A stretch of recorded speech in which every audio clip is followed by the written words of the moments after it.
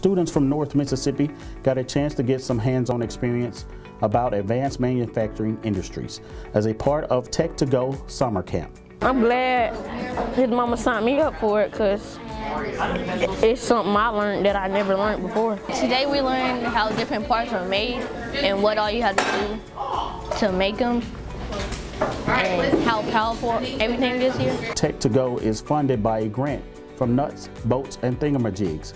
It's a way to show students and their parents what manufacturing is all about. We learned a little bit about machines and manufacturing and got to see how some of the machines work and stuff. It was pretty cool. Students are not only learning about the sheet metal fabrication process, they got a tour of the plant and they get the chance to make their own clock. We went and uh, bent the metal and we made our own clocks and stuff. Learned like um, what type of parts they make for like different companies and things. And we made like the clocks. We're making the clocks. I learned uh, about the engineering stuff that they uh, do here. It's really fun. I would like to do a job like this. The camp helps chart a course for the future.